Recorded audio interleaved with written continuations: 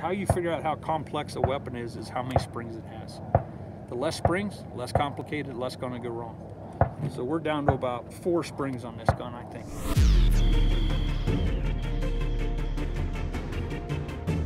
Kevlar on. See how things are properly done in the world, in true tactical situations, in true evolved training evolutions.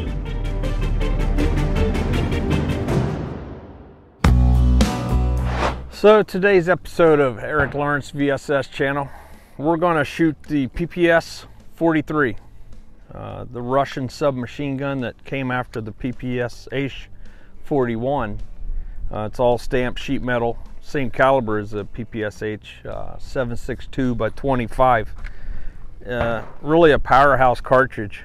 Um, obviously, it's a, a bottleneck case, so there's some really good velocity generated out of this and uh, no nonsense. I mean, we've done some testing and, and the penetration is more than impressive.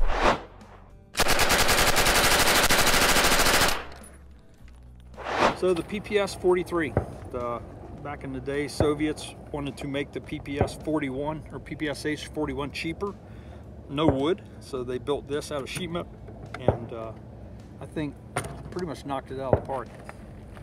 Great little compact submachine gun folding stock, you know, similar to the MP40, rotating butt pad, butt plate. Um, with that, we'll start with how to release the stock.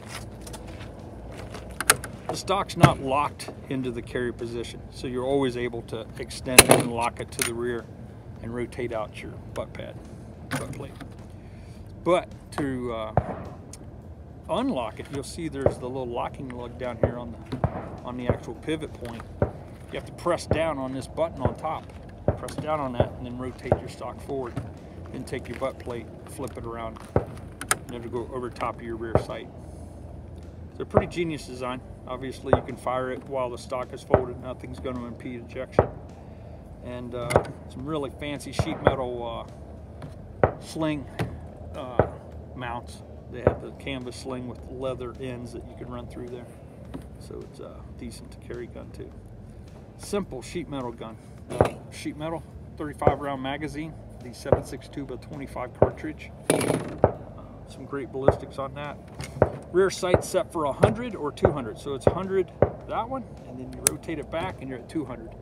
This cartridge is capable of, of hits at 200 and, and doing some real damage. So I wouldn't discount it like most submachine guns where I kind of scoff at a 9 mil at 200 yards. But a 7.62 by 25, uh, there's some juice to that. Front sight's a post, but a protected eared post. So all your adjustments are done from the front. You can either uh, drift the drum like an AK or rotate up or down the front sight to adjust it. And they do that at the factory. Guys, don't think most of these factories aren't as smart as most of the operators. They have machines they put these in. They crank them down, they shoot them, they dial this with some massive machine, and then they issue them. Going forward more, genius they took the, a sheet metal piece, bent it over the front of the muzzle to protect the muzzle for one, but also to create a compensator. So because it's wider at the bottom than the top, as this shoots and the gases come out, hits the front of that, it holds it down. So it holds it into the, the steady position where you're already shooting. And uh, that's fairly genius. But then they figured out the geometry of how far forward to keep the gun from recoiling to the rear. So it's compensating for rearward pressure and upward movement. So with this, once you're in a locked in position, you can you can dump the whole magazine exactly where you want within, you know, size, distance, location of target issues. But uh, also, they built a uh, sheet metal heat shield around the barrel. You can shoot quite a few mags before that gets like too damn hot to hold. But worst case, wear gloves. Gloves don't blister, bleed, cut, cry. Coming back to the magazine well, uh, magazine release presses to the rear from the rear. It's protected also. They made this thing soldier proof so you could throw it around and drop it and not lose your magazines. So empty mag, empty submachine gun, locked to the rear. It's on safe. So magazines go in, obviously bullets toward bad guy. Press it in to where that, that magazine catch has it and always give it a tug to make sure. But when a right-handed person is actuating this, or left, I guess, you grab the magazine, you get between those protected ears, that magazine goes in and out. There's no downside to that design. It's very ergonomic. So back to uh, obviously the charging handle is also the forward assist, but we don't use a forward assist on an open bolt submachine gun. The most accidentally fired weapons out there are open bolt machine guns of some type. People will either want to ride the bolt forward or they will uh, let it go forward and be surprised that it fires. This has a fixed firing pin on the front of the uh, bolt. So every time it shuts, on accident or on purpose, it's going to fire. So remember that. You lock it to the rear and you press it on safe when you're loading or unloading this weapon. So with that, the safety, they did this for right-handed shooter. Uh, I guess all the Soviets were right-handed. So you could bring it back with the trigger finger, but you could also press it on the fire with your trigger finger. Pretty genius system. So you'll just see the sheet metal just lifts up to block the bolt from going forward if you did press the trigger. Nothing fancy.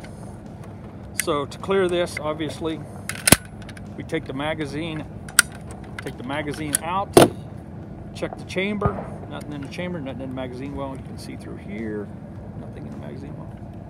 And then uh, we can ride the bolt forward. So we're gonna press it on the fire, grab the charging handle, and just bring it to uh, forward position.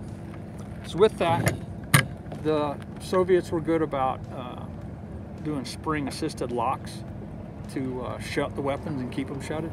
So on the rear of the pistol grip here, you press in on that and rotate down the, the lower and you'll actually see how the sear is depressed when the trigger is pressed to the rear. So the same springs that hold the top cover to the lower is the same op rod and recoil spring that actually is the, the spring for the sear. There's no wasted parts on this. How you figure out how complex a weapon is, is how many springs it has. The less springs, less complicated, less gonna go wrong. So we're down to about four springs on this gun, I think. So that's your lower. And you can see when I press up on the safety, back on the safety, it comes and it just rotates that little slot and it brings that up in there. and It will block your uh, actual bolt from going forward. So let's shoot this and uh, you know, start the smiles. This is what creates smiles. No one ever is displeased after getting to fire a, a Russian submachine gun. So let's do that next. So now we're gonna go ahead and load up the uh, PPS 43. Have the bolt to the rear, the safety engaged, bullets toward bad guy, press it in the magazine well, give it a tug, make sure it's locked in. Then the only thing we have to do is point at our target, get your sights aligned, press off on the, the safety, and start making some fun.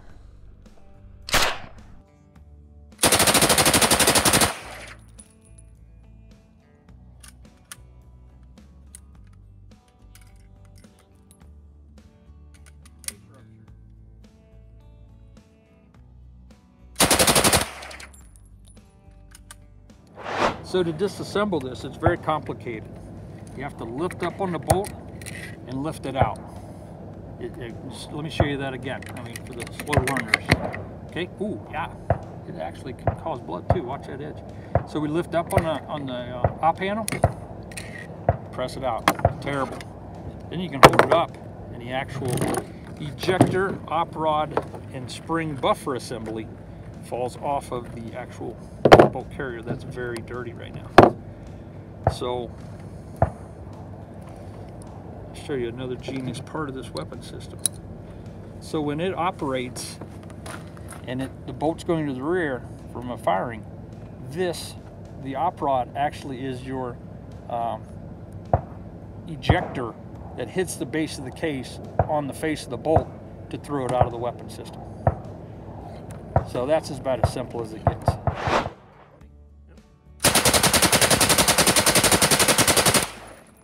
So I think we'll need to clean that one a little bit. I don't know.